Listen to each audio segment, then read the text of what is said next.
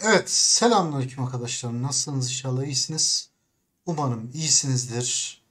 Ee, tarihler 6 Şubat 2023. Türkiye birçok yerde de ya Türkiye'de birçok yerde deprem oldu. Ee, ölen insanlar oldu, yaralanan insanlar oldu.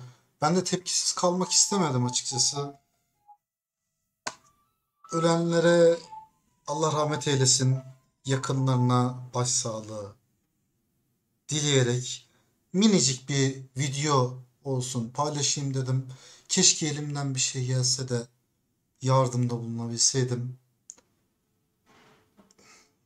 Ne yazık ki biz de yardıma muhtaç pozisyondayız. Keşke. Evet bu kadar.